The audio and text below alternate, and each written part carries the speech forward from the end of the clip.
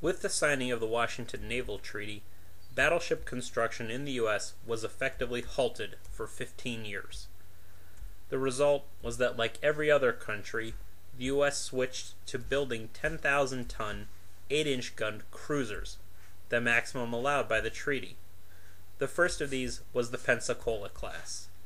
Originally designated light cruisers because of their thin armor, they were redesignated heavy cruisers on July 1, 1931, because of their 8 inch guns in compliance with the terms of the First London Naval Treaty.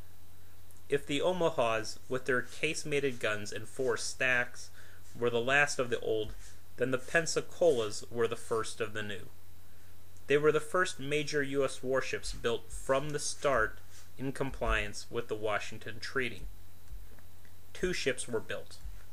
Pensacola was laid down October 27, 1926, and commissioned February 6, 1930. Salt Lake City was laid down almost a year later on June 9, 1927, but still commissioned three months earlier than her sister on December 11, 1929.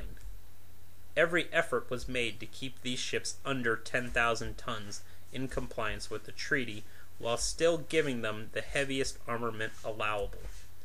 Extensive welding was used to replace rivets, and armor protection was light. In the end, the ships actually came out almost 1,000 tons underweight.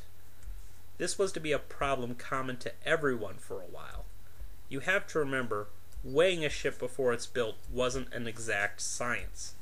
Sure, designers more or less knew the weight of all the parts, but until you actually get them together, it's an educated guess.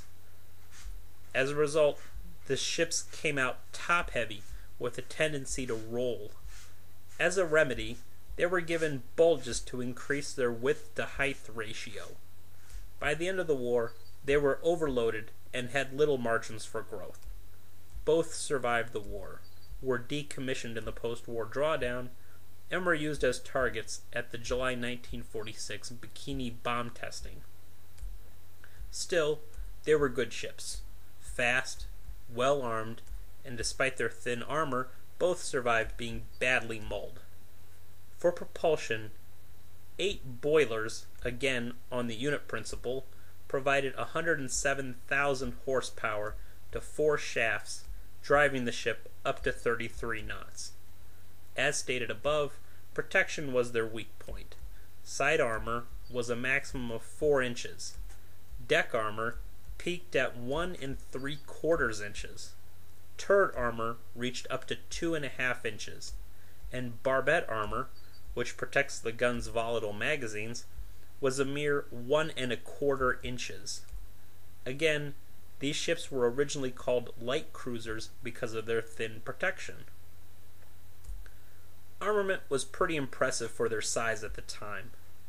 They carried 10 8-inch 55 caliber guns in two twin and two triple turrets. All four turrets were on the center line, two forward and two behind the superstructure. As you'll note from the picture, these turrets were placed with the triples shooting over the twins, called superfiring. You'd think it would make more sense from a stability point of view to put the heavier triples under the twins, but where they would be lower. Normally, that'd be the case. Except the designers were trying to keep the maximum number of guns dry in heavy seas. It also allowed the wider triple turrets to be moved away from the ends of the ship where the hull narrows as it comes together. Secondary armament was the then new 5-inch 25 caliber gun. Four were carried amidship in single open mounts with two on either side.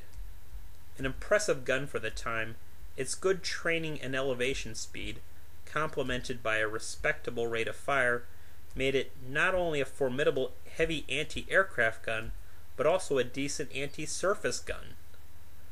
It would continue to be the standard heavy AA gun on large ships until finally replaced by the legendary 5 inch 38. Originally fitted with two sets of triple torpedo tubes, these would be removed before World War II. Finally, these ships were fitted with two midship catapults to launch four float planes. Unfortunately, there was no hangar, so any work on these planes had to be done out in the open. Throughout the war, radar, light, and medium anti aircraft guns would be updated, but being so badly needed in service during the first year of the war, they received no major updates. Somewhat ironically, once they could be spared because the newer and better ships were starting to arrive, they were no longer worth the effort of updating. When the Japanese attacked Pearl Harbor, Pensacola was escorting a convoy of ships to the Philippines. The convoy was rerouted to Australia. Returning to Pearl, she would serve as an escort at the Battle of Midway. She would then go on to cover the carrier Enterprise, missing the first and second naval battles of Guadalcanal on November 13th through 15th. Her chance to fight finally came at the overnight Battle of Tassafaronga on November 29th 30th, 1942.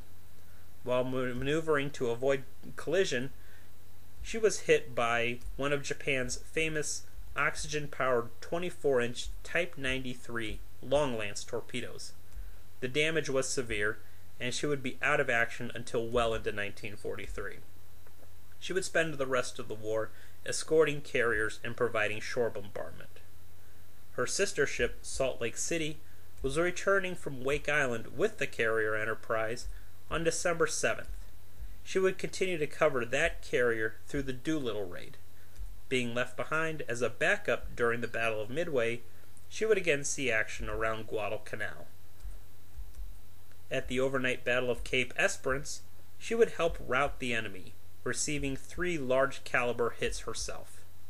In March 1943, she took part in the Battle of Komandorsky Island. The battle was a result of American efforts to cut Japanese supply lines to their troops stationed in Alaskan waters. Hit several times by Japanese 8 inch shells, she was in mortal danger until the Japanese suddenly retreated, not realizing the Americans were on the very edge of defeat. Having been repaired, she returned to service, escorting the carriers and providing fire support throughout the rest of the war.